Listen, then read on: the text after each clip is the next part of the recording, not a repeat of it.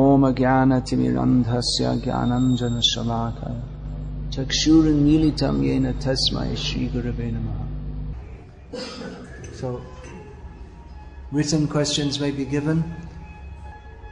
There was, uh, I heard there was a query from yesterday that I was asked about reading Prabhupada's books and other books, and I had stated that we should have a basis of understanding in Prabhupada's books, and I'd cited the example of myself in that I'd read the Bhagavatam and Chaitanya Charitamrita Prabhupada's, with Prabhupada's commentary six times before I started extensively reading other books. So there seems to have been some misunderstanding that I was saying that everyone should read all of Prabhupada's books six times before reading other books, but not necessarily so, but once or twice at least, and then go on reading Prabhupada's books even when you read others. And be discriminating and discriminatory in which we read. That beginner's guide to Krishna consciousness which I made, that could be read at, at any stage and then in the beginning. And then if, for instance, if we're doing a Bhakti Shastri study course, then we could study the course materials also, which are to help us understand Prabhupada's books, we hope. Srila Prabhupada Lilamrita books about Prabhupada. They can also be read. But our basis should, as followers of Prabhupada, we should have a basis in understanding these books. So, are there any more questions? Please. Yeah. One is uh, our day-to-day life, what is the importance of uh, preaching? And, uh, in, uh, to which extent? In our day to day life, what is the importance of preaching and to what extent? Well, Chaitanya Mahaprabhu said, Jare deko tare kaha Krishna upadesh. Whoever you meet, tell them about Krishna. Who's doing that? That means always and everywhere, practically. So, to what extent means there's no limit, unlimited. In our day to day life, well, some people's day to day life is different to others.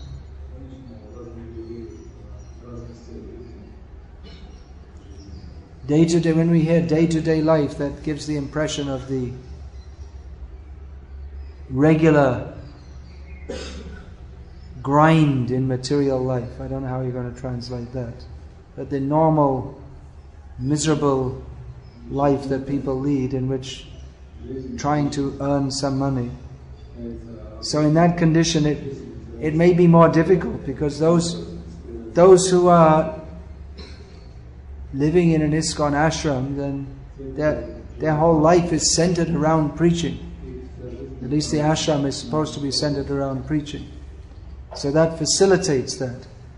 Whereas the day to day life of someone who's working in an office or a factory or a shop or whatever is based around producing goods and earning money. So they don't want, the employer doesn't want you to introduce anything else which might disturb the activity for which you're employed for, which means making him money. So one has to be a little subtle in one's preaching activities. I've been asked this many times how can we remember Krishna at the workplace? So I've suggested in your office you might hang some picture of Krishna or put on your table or on your computer wallpaper. You know, you can read in your lunchtime Bhagavad Gita as it is, and then people may ask what that is, and you can tell them. You can distribute prasad daily. If we have a desire to do so, we can preach in any circumstances, although many circumstances are not favorable for doing so. That's a general answer. How to apply it in your life, you have to see. If there's a will, there's a way. Do you understand that? If there's a will, there's a way. If we desire, then Krishna will reveal to us how to fulfill that desire.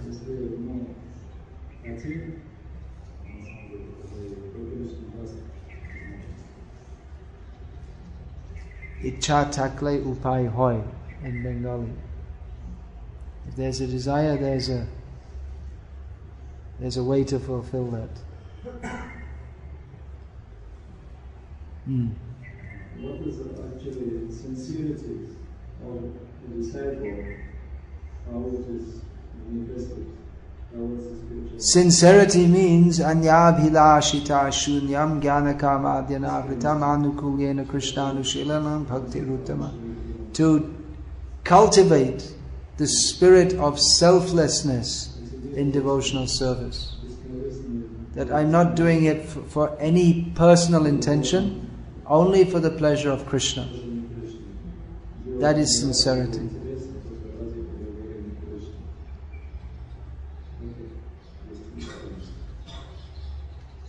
we may have so many desires, material desires, but we should means we but we don't cultivate those desires due to association with material energy since time immemorial. We have so many residual material desires but we should not cultivate them, we should cultivate the desire to surrender to Krishna and do everything for His pleasure only. Krishna consciousness means war on Maya.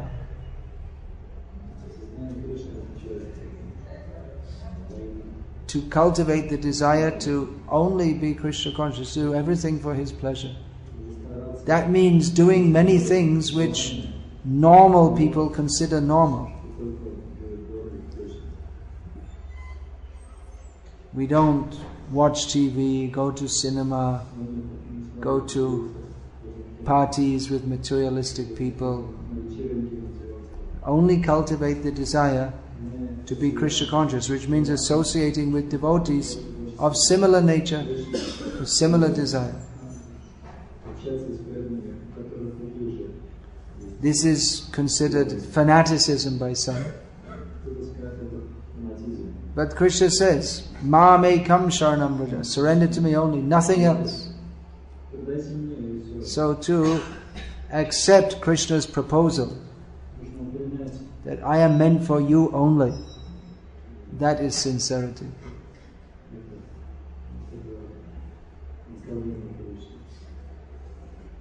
and to pretend to be doing that, but actually cultivating all kinds of other desires, that is insincerity. Sincerity means to hear Bhagavad Gita as Arjuna heard it. Sarvam etad ritang manye yang mang vadasi keshava. I accept everything you say as fact.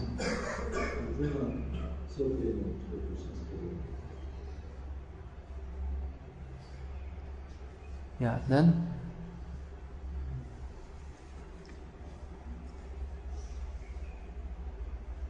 In our temple, we are offering to the deities only breakfast and at evening milk and puris. We are in we are in lack of pujaris. What to do? Well,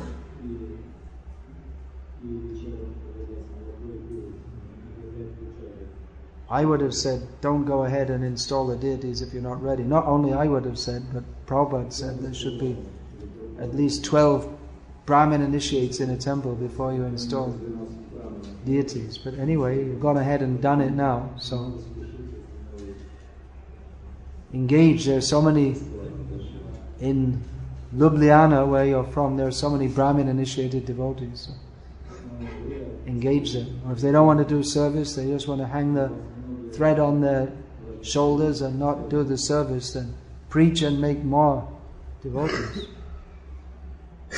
increase even increase the Uh, shortage of pujaris means what? One even one pujari can do all the offerings. It's not impossible.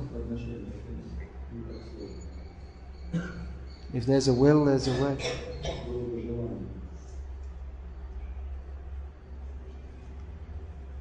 We have the standard that first, initiate devotees are worshipping, what do you think? It doesn't matter what I think, but according to Srila Prabhupada, it should not be done. Not only according to Srila Prabhupada, but according to all the acharyas in the Sampradaya. Brahmin initiate devotees are meant for deity worship. How to overcome fear about the future. Surrender to Krishna. Krishna will look after us. There's no fear. Who will look after me when I'm old? Well, who's looking after you now? You think you're looking after yourself? Now I'm looking after myself, but later I'll need someone to look. No. Krishna will look after. Marobi rakobi jo ichatoha nittadasa prati tua adhika. Kill me or protect me according to your desire. I'm your eternal surrendered devotee and you can do whatever you like with me. That's your right. Krishna will look after us. Krishna is feeding the elephants in the jungle. He cannot feed you. He's feeding the demons. He won't feed his devotees.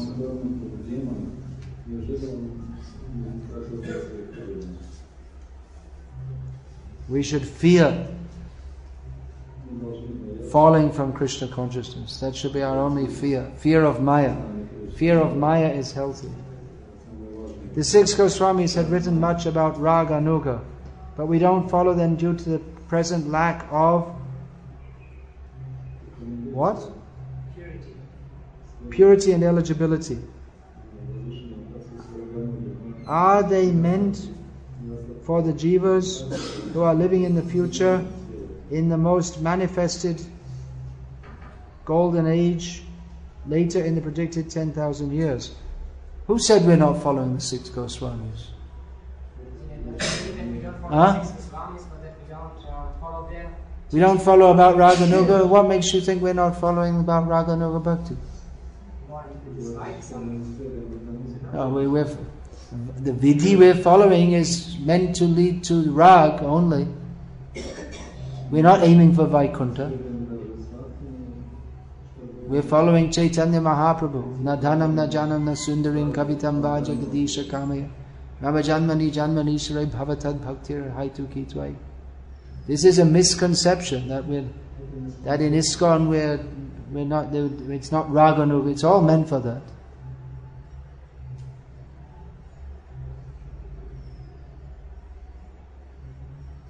In course of time, everything will be revealed, but our aim is not Vidhi Bhakti leads to Lakshmi Narayan in Vaikuntha. So our acharyas have given, Rupa Goswami has given Vidhi, which leads to Rag. And we're, we're being, the, the whole Sankirtan movement, the chanting and dancing, is one of uh, expression of natural affection for Krishna. So it's a misconception that we're, ISKCON is a movement of Vaidhi Bhakti. Well, it's not a misconception, it's true,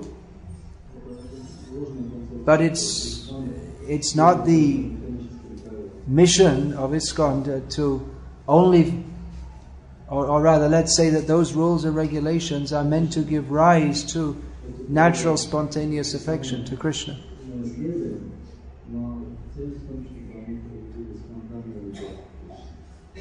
Which we can see that's manifest in so many devotees. Just like here in Mayapur, very strictly following all the regulations of deity worship for so many years, Pankajanghri and Jananivas Prabhu. You think there's no rag? They're just following out of some duty. There's no, there's no attachment. What do you think? Externally, you see, rag is a matter of the heart. It's not for external display. Those, those who go around telling everybody, ladies and gentlemen, I am a Premi Bhakta. You can al- be almost sure they're not Premi Bhaktas. Those who are announcing it, they're not following Chaitanya Mahaprabhu because he clearly said that this is an internal matter. Externally, one goes on following the rules and regulations, but internally, one's attachment for Krishna develops. That is natural. So, there's an example. These two devotees were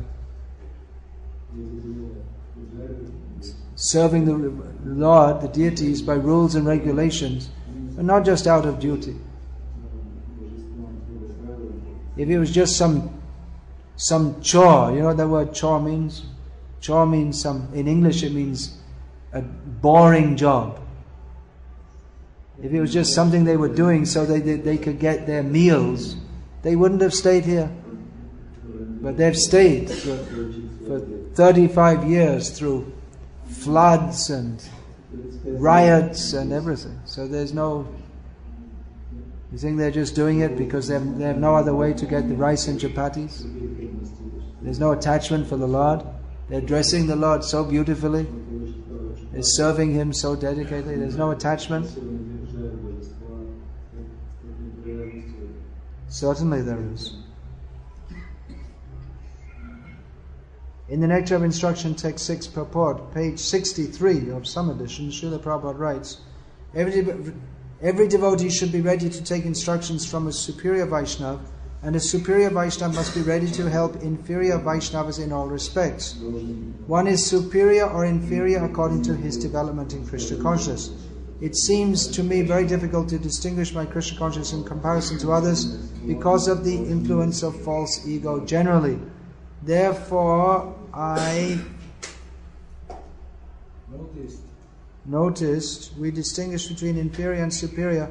How long is one in the movement initiated, what managerial responsibilities he has in position, or how much service he has done in the past. Although these considerations have their place in Vaishnava etiquette, Srila Prabhupada does not mention them in Nectar of Instruction. What should be the right understanding? How can I reliably distinguish and recognize the development of Krishna consciousness in different Vaishnavas without committing offenses to judge devotees? Yeah, this is an important point. It's not simply by one's number of years in Krishna consciousness or managerial position. Although service done, that that's quite some that's some indicator. That should be considered because it's not an ordinary thing to serve Krishna and especially in in a very wonderful way. Just like I was giving the example of Pankajanghri and Jananivas Prabhus to to have performed so much service over so many years indicates I'm just giving them as an example. There are so many devotees. But that indicates that they are serious in their service to Krishna and getting the mercy from Him to be able to do so. So that's an indicator. How can we tell? Well, there are general symptoms, and we'll have to pray to Krishna to reveal if someone is fit to guide us. General symptoms are there. The uh, for instance, there are the descriptions of bhava bhakti, that that uh, avyartha kalatvam, that one is tolerant of different conditions. One goes on serving Krishna in all circumstances. He doesn't like to waste time, likes to spend all his time in the service of the Lord. Doesn't have holidays from Krishna consciousness, so weekend break or something like this. Doesn't expect or doesn't even like to be praised for his service. It is attached to glorifying the Lord. The symptoms are there, so we can see and we, we can take some time also to see because if we're afraid someone's going to cheat us or misuse us so we can take some time and then gradually as our faith develops in a relationship we can commit ourselves more and more. Or it may be that from the very beginning our faith is there that may be also. If we're more simple. If we're simple, we can gain faith very quickly, but we may also be cheated very easily.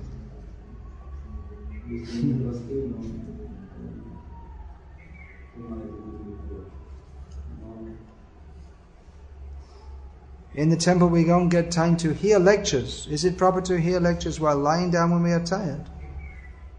There are a lot of chances we'll fall asleep. What to do to hear more? We don't get the time to hear lectures, but that's one of, that's practically the most important purpose of the of the temple. Living in the temple so that we can hear about Krishna, hearing and chanting. So if you don't get time to hear lectures, then what's the temple for? We build the building and we're keeping it clean and we're collecting money to maintain it and we're and then what's the difference between that and just a house that we all live in? The very purpose of the temple is to hear and chant about Krishna. If the only time we have to hear lectures is when we're asleep, then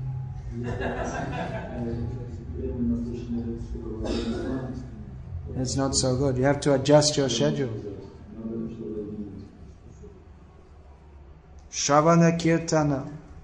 Karo Anukam. Ashata Pachala Chari. Go on hearing and chanting always. Give up useless talks. That's what Prabhupada was told once when he was, when Prabhupada said once when he was told the devotees don't have time for read, it, that they should just give up talking nonsense and then they'll have so much time. In Krishna conscious mind and body do not cooperate with me. How do I solve this problem? Well, in Bhagavad Gita, Lord Krishna describes what is that? Indriyani pranayahur indriyebhya manaha manasastu parabudhe yo buddhe paratastu saha. There's a hierarchy. The senses, the mind, the intelligence, and the soul. So if the mind and the body, say, don't cooperate with me, and that means that you, you're not using the intelligence to take charge. You're being driven by the senses. So that Krishna explains, Jahi Shatrung Mahabaho. Overcome this enemy in the form of lust by understanding the soul to be transcendental to the mind, body, and even mundane intelligence. We, we should conquer the pushing of the mind and the body. Otherwise, we're like the uh, we're like an animal. The animal is under the control of his body and bodily demands and mental demands. So, Savai Mana Krishna Padara Vindayo, one has to fix the mind at Krishna. Make our make our goal clear, fix our goal in our minds that we want to be Krishna conscious. And then everything else will follow. That means we have to be prepared to make some sacrifices. If we think I want to be Krishna conscious, but I also like to sleep until 10 o'clock every morning, then you have to choose. What do you want? To be Krishna conscious or sleeping late every because the two things don't go together. So one disciplines the mind and body by accepting the rules and regulations of bhakti yoga. You can't be Krishna conscious and indulge in sense gratification at the same time. One has to accept the discipline. By accepting the rules and regulations of bhakti yoga, one automatically becomes disciplined in the mind and body. Automatically, we start to overcome them. We may feel tired and sick, and this, but still we have to rise early, engage in hearing and chanting. This way we overcome the pushings of the mind and the body. It's a gradual process. Is it necessary to have good educational qualification to preach to the so called higher class men in society? I asked the same question to one devotee, and that devotee said that yes, it is necessary. And he gave the example of our devotees who have educational qualifications in their preaching nicely. And when I gave the example of our previous acharyas and some of our ISKCON gurus, who do not have good mundane qualification but they are preaching widely, then he said we are not as elevated as them. And some things, some devotees say that we should not preach as strongly as Srila Prabhupada, we are not on his level. How to understand these points? Some devotees in their lectures often quote this. Oh, it's another question. Hmm. Well, we're not as elevated as them. Those who are preaching Krishna consciousness without educational, mundane educational qualifications. Well, philosophically, it's a mistake to think that there is any mundane qualification necessary to practice or preach Krishna consciousness. The example is there of Gaur Kishore Das Babaji Maharaj. These we say we may say we're not as elevated as them, but they are our acharyas who are their life is meant it's an, teaching us by their activities. So there are many cases. You may say, well, we're not as elevated as the gurus in ISKCON, but the gurus in ISKCON were three month brahmacharis at one time also. By sticking to the process, they became able to do what they're able to do now. Now, certainly for us, for certain types of specialized preaching, some kind of qualification is necessary. For instance, if we want to uh, if we want to discuss about, about evolutionary theory, by, for instance, discussing about theories of genetic coding, then we'll have to understand what those theories are. One can get that, such qualifications by going to university and getting them, or one can study them independently also if one has some background, for instance, in medicine or microbiology. That would be more helpful for understanding that. That is a specialized form of preaching. If one has such a qualification, then he can think of preaching in that specialized manner. But otherwise, one, anyone, by the grace of Krishna, can preach at some level to everyone. And the practical example of that is our book distributors, who they meet all kinds of people and they distribute books to them. Now we may say, well, we want to preach in a more more uh, what's that? Sounds like a marriage party. Hmm? Oh, I see.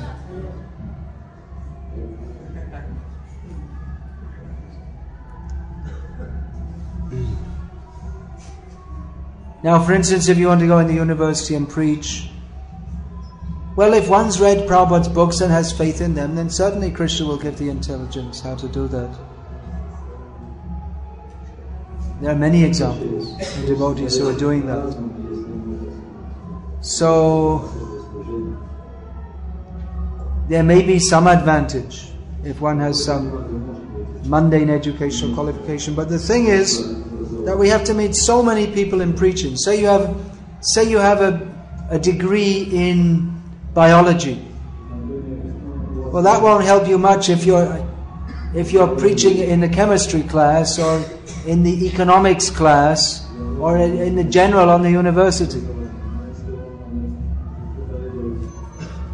One may have the some more idea how to say things in a in a quasi intellectual manner. But Krishna will give the intelligence, actually.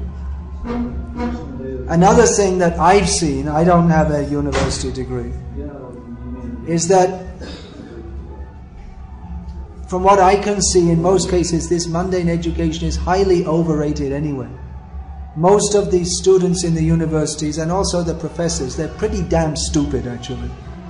If you go and preach among them, you'll, you'll find that they mostly they don't have any very logical way of thinking and they don't even I find that most of our devotees who have been reading Prabhupada's books, they're, they're actually far more intelligent than the average so called intellectual in the university. Krishna gives the intelligence. So you don't have to be afraid and think, oh, they're so educated. They don't actually know so much, and their, their intelligence is spoiled by meat eating and sex life and intoxication, and they, they don't think very clearly or nicely, actually. So if you study Prabhupada's books, Prabhupada, you'll get all the intelligence. Prabhupada was meeting PhDs and professors, and they couldn't stand before Prabhupada. Prabhupada, you say, well, we can't imitate Prabhupada, but what does this mean? We can't. Prabhupada showed us how to preach. This idea, this given, well, we can't imitate Prabhupada, that this is sometimes used to say that we should act in a manner completely different from Prabhupada. This is a this is a misunderstanding of the statement that we should we should know what is the difference between anusaran, following, and anukaran, which means imitating. So anusaran means to follow the preaching example. And anukaran is to attempt to come to uh, attempt to act on some spiritual platform that is beyond us. Krishna will give intelligence. To preach Krishna consciousness, we need far more than any other qualification. The qualification is to study and hear Prabhupada's books and practice Krishna consciousness very carefully, and Krishna will give all intelligence. There are so many examples. Tribhuvanath Prabhu, he was doing festivals and he had no mundane education practically. He was an orphan. He could just read and write. But he was preaching among all kinds of people all over the world for so many years. If we think that preaching is an intellectual activity, then we may think that we need some mundane qualification. But it's a spiritual activity. Krishna gives the intelligence that the, the words heard from Guru and Shastra, they cut through all this intellectual nonsense and come to the essence. If we think that preaching means we have to match mundane intellectuals in their mental speculative word jugglery, then we're going to get lost anyway. Then we can't preach anyway. Then we're just on their mundane platform. Krishna consciousness is on a higher platform. You don't need to engage. Uh, in fact, if we try to engage in word jugglery, we'll, we'll be lost. If we try to match them intellectually, then we're just engaging in their mental intellectual game. But preaching Krishna consciousness means to speak the knowledge of Shastra with faith in Krishna, which cuts through all this intellectual nonsense. Bhidyate hridaya grantis, chidyante sarva samshaya. The words of Shastra, they, they pierce the knot on the heart and cut all misgivings.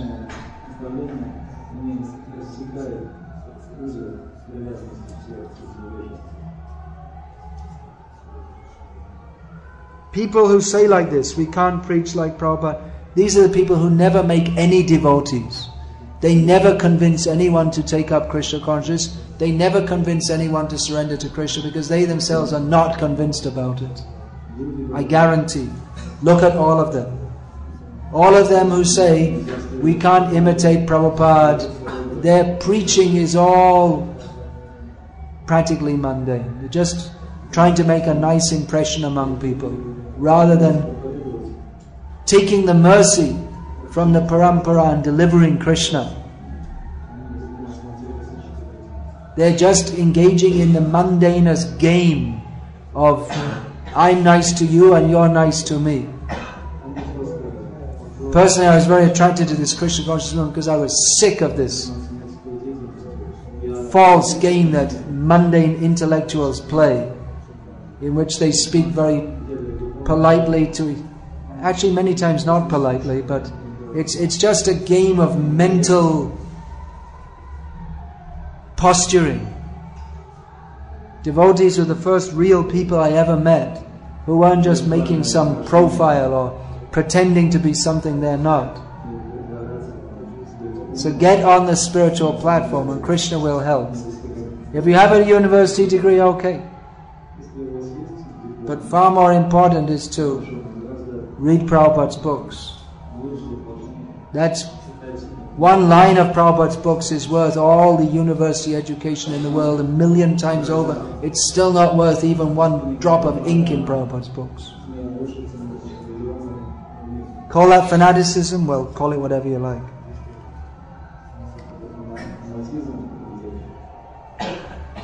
Some devotees in their lectures often quote this Ka ladu jo kaya wo bhi pishta or jo wo bhi pishta. What is the meaning of this?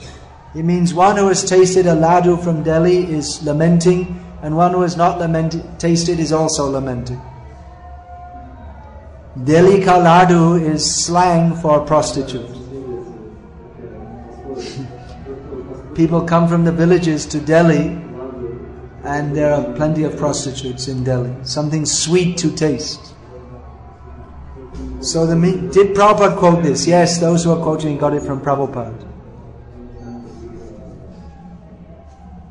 In which context? In this context. Those who've engaged in sex life, they are lamenting, and those who are not, they're also lamenting. Means that those who've engaged in sex life, they're lamenting that, well, it wasn't as good as I thought it would be, or I got AIDS, or.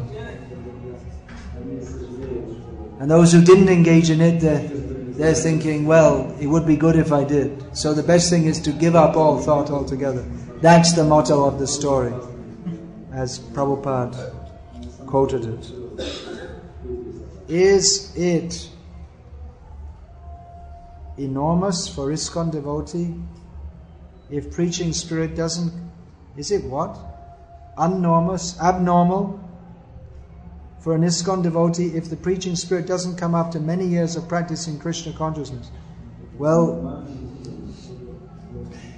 what makes you think you are practicing Krishna consciousness? if there's no preaching spirit. One who is practicing will certainly want to share with others.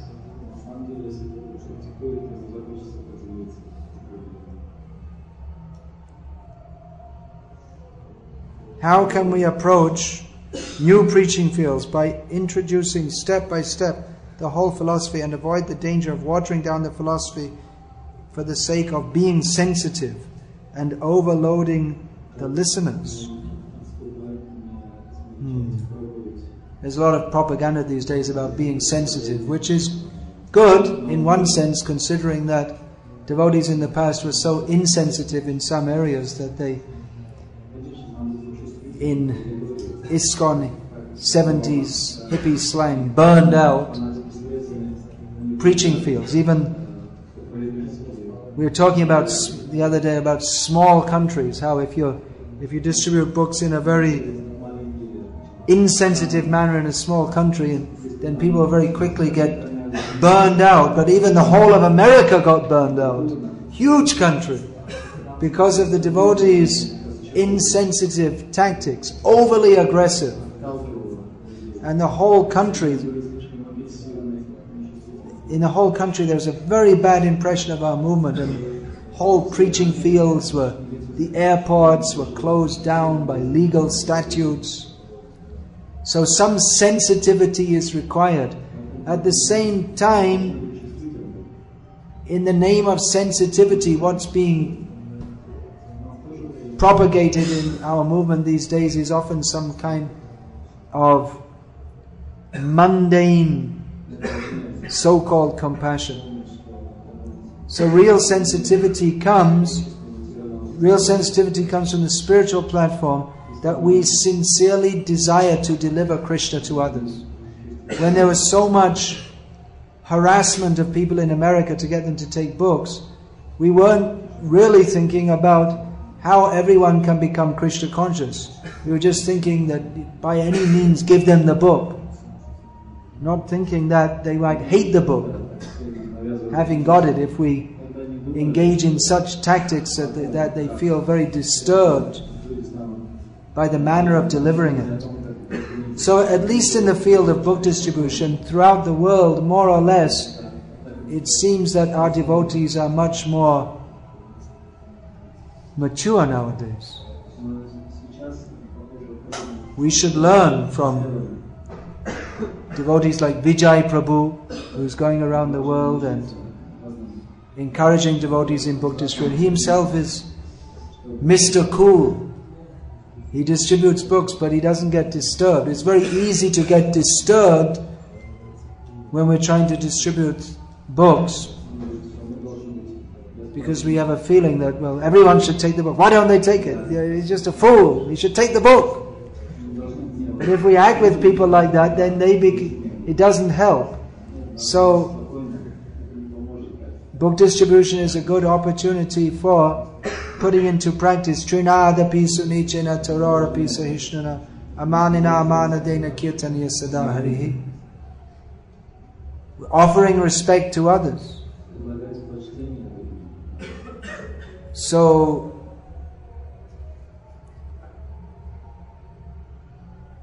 devotees were in America were telling me that they would offer their politely, not just politely, but you know, with a little push also, but pleasantly offer people books and then make their presentation. And if people don't want to take, they'd say, all right then, well, have a great day anyway.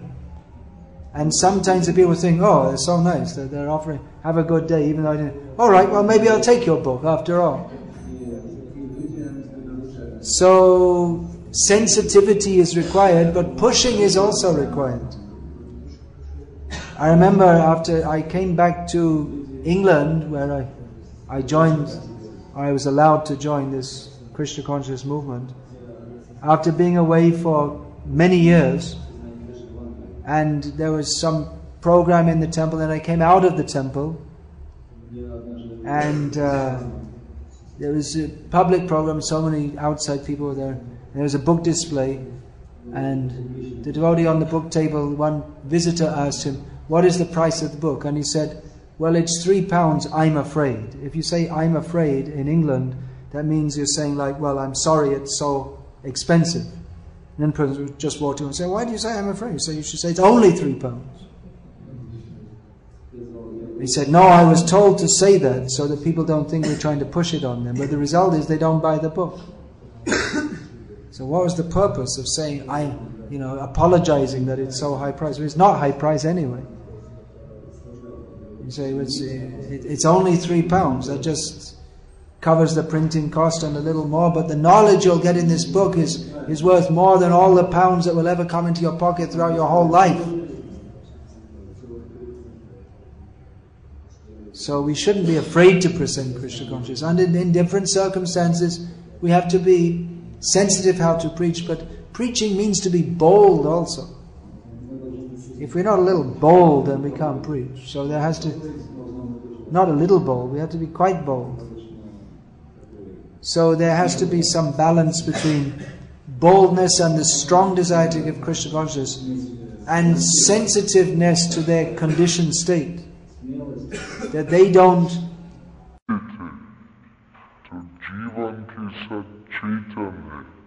so in preaching, actually all the people should fall down on the feet of the devotees and say, Thank you so much, you're saving me from the clutches of birth and death. But they don't say that and they don't think like that. They think, Who's this person bothering me? So, without accepting their attitude towards life, we should also understand that they do think like that and be sensitive to that so that they don't become um, overly disturbed. Although, one thing we should know if we're actually preaching, then definitely some people are going to get disturbed. For sure. If no one's getting disturbed, there's something wrong.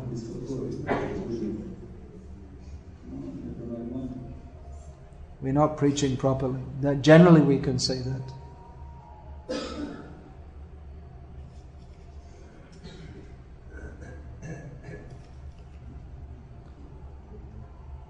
Please could you speak on Sadashiv? Who is he?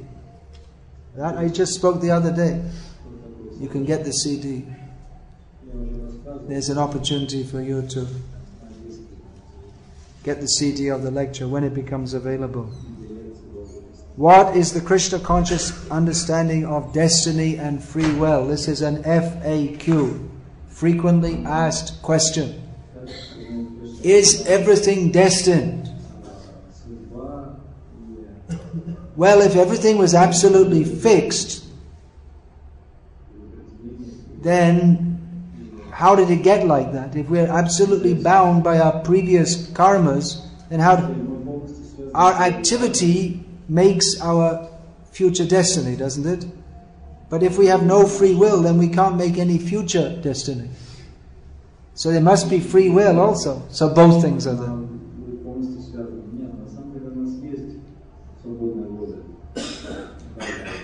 destiny, that means we, a general uh, fate is fixed. But according to how we, the choices we make within that situation, it may come out quite differently.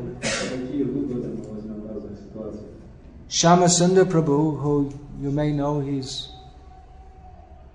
Srila Prabhupada's disciple, he's here. He's a an astrologer, not, oh. not one of these uh, teach yourself astrology in 30 days kind of astrologers. But he actually studied with a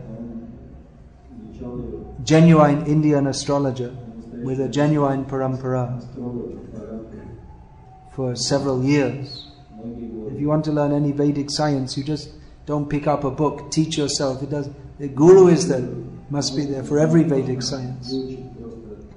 So, anyway, he was telling me that um, in, some, in someone's chart, under a certain circumstance, you may find that someone is living in a building where there are many restrictions and he's under control and not allowed to go out and so many different rules and regulations and you may conclude that he's going to be in prison.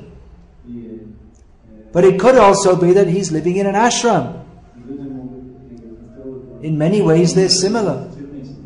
That's what Haridas Thakur said when he was put in prison. He said, No, you're all very lucky. You're all restricted here from sense gratification. so you just chant, chant Hare Krishna and you can stay here forever. They weren't very happy to hear that. Then he gave them the benediction. You'll all be released within two, three days. But go on chanting Hare Krishna. So the, th- the thing is, if someone in his destiny, he has that kind of situation, according to how he uses his free will, he might end up in prison or he might end up in an ashram.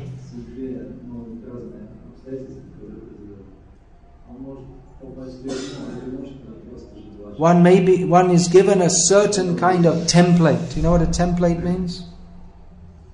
Who uses computers? You should know it. It means there's a basic kind of pattern, but then what you do, you have free will within that. The example is given that you you uh, you can choose to buy a ticket to get on a plane so you're on the flight from Calcutta to London. So you made the choice. Now that has, while you're on the plane, that's restricted your movement. You can't, there's a limited number of things you can do. You can't play football, for instance, on a plane. You can't go swimming on a plane. There's a limited number of things. There are, there, but you have choices what you can do, but they're limited by the situation. That's a rough example. So the, there are limitations, both gross and subtle, according to the situation in which we have fashioned ourselves into. But within that situation, we have free choice. We have some level of choice.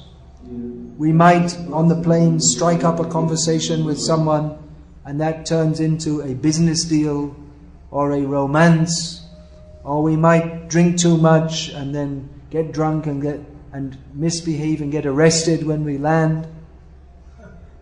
That ha- that could happen also.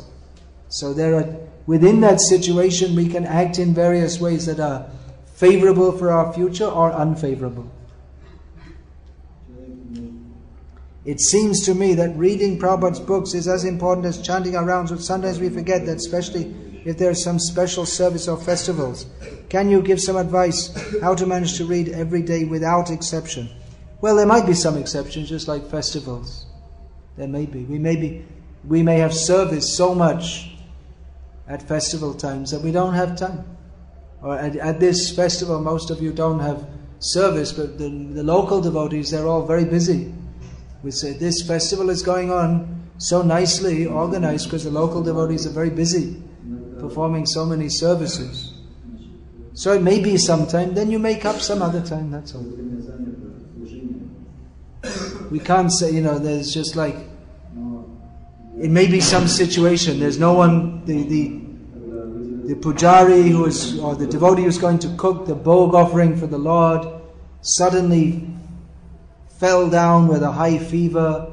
There's no one else available. Can you cook the offering? No, I didn't read today. You can't. You have to do.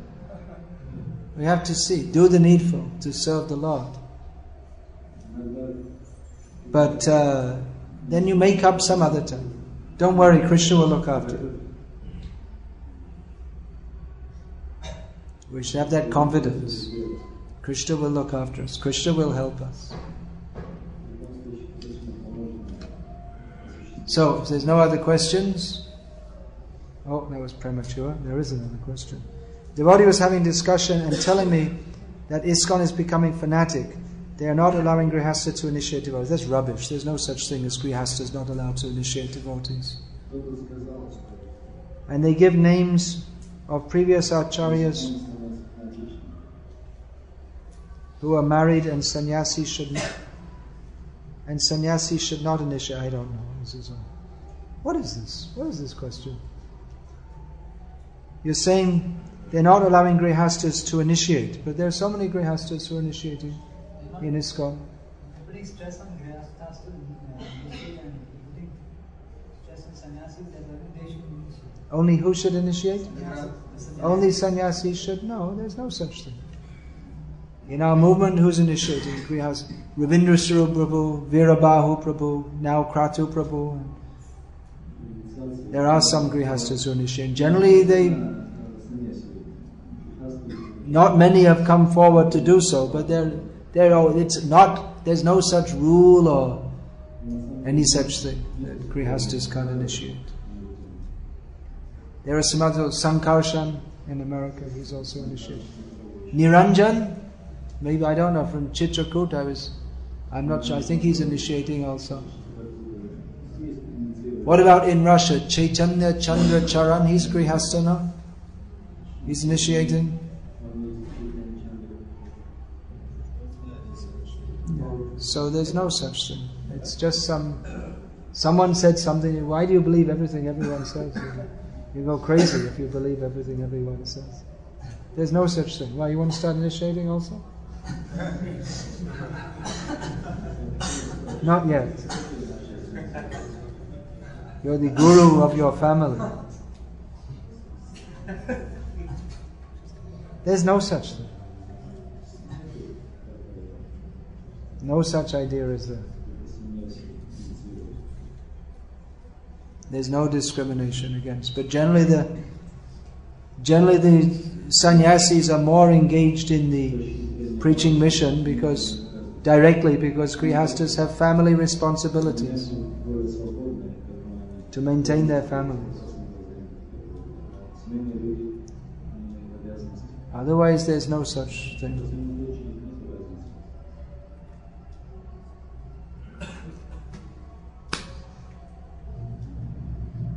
Oh, all right. Just every time I think it's going to be finished, and there's there's always more. Good. What is that? Chatrinvatam rasam rasaganam svadu svadu padeva. How does that verse begin? Vayam tu na vitripyama. We are not satiated by hearing Hari Katha, by hearing more and more. We gain, we taste more and more. Or is it Vayam tu na vichapyama uttama shloka vartaye vikrame? By hearing about the wonderful activities of uttama shloka.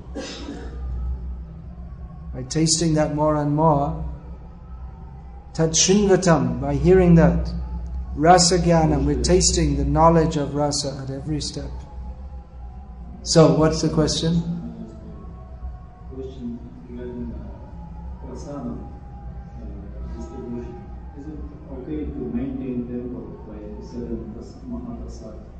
By selling Mahaprasad, is it alright to maintain a temple? should be free. No, selling prasad is uh, a, that- that's been going on traditionally in India for. It's a, in Puri, you could say Puri is one of the most traditional, Jagannath temple, one of the most traditional temples in India. The Ananda Bazaar, prasad is sold, so there's no restriction against selling prasad. It can be given away and it can be sold also.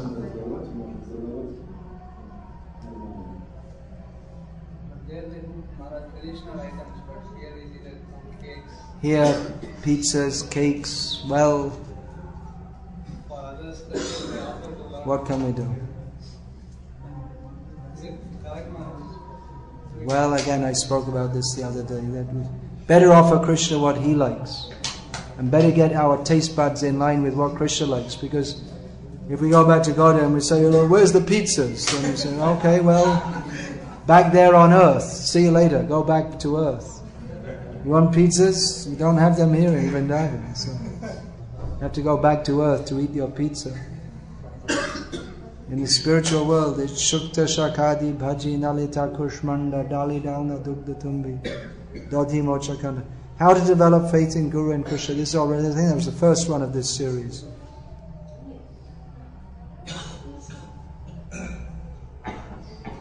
I read in your book that association with Prabhupada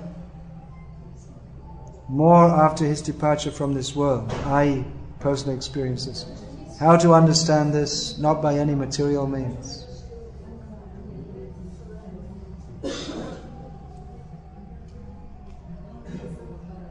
All right, we'll finish there. No, it's still going on. Raj, uh, could you explain what Srila Prabhupada meant if he told about prasad, prasad distribution? What Prabhupada meant when he spoke about prasad distribution, What he meant by prasad distribution? Because what did Prabhupada mean by that? It's too general a question. Can you be more specific? I mean, generally, prasad distribution means we cook and offer food to Krishna with devotion and we distribute it. That's called prasad distribution. That's what Prabhupada meant. That's straightforward, isn't it?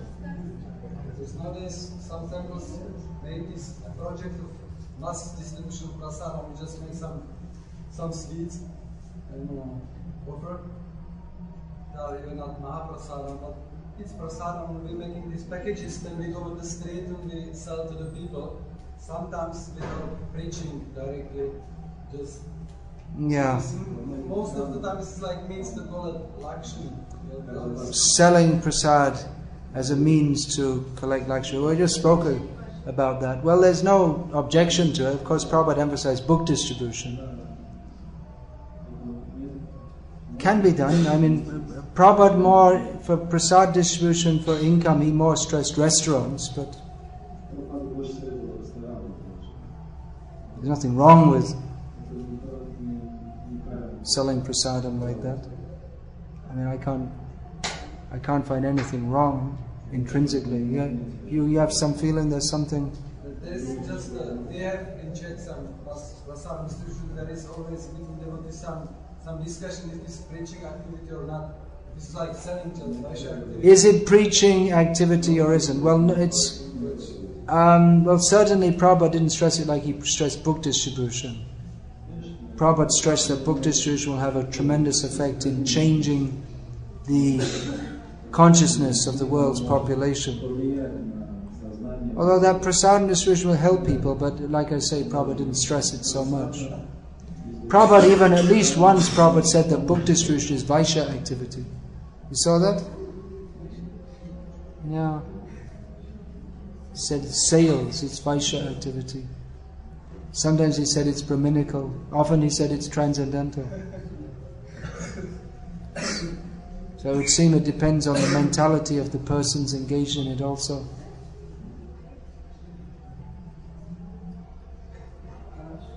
Why we should not offer obeisance? Why don't you write the question down? What happens to a person who only reads Prabhupada's books like Bhagavatam but doesn't chant? means he's not reading Prabhupada's books because the Bhagavatam tells us to chant. Then we're just reading intellectually. That's not reading devotionally. If we're reading, then we should follow what is said. So they're not actually reading at all. They're reading from the mind platform, not from the soul platform. There may be mundane scholars who read our books with the purpose of criticizing them. They don't get the same result.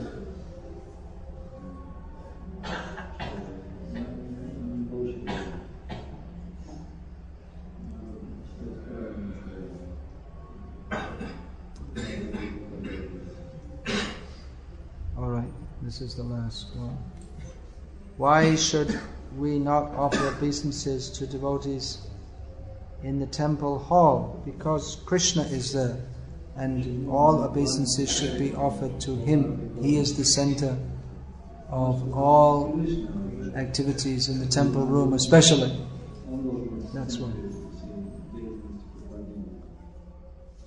Hare Krishna, Hare Krishna.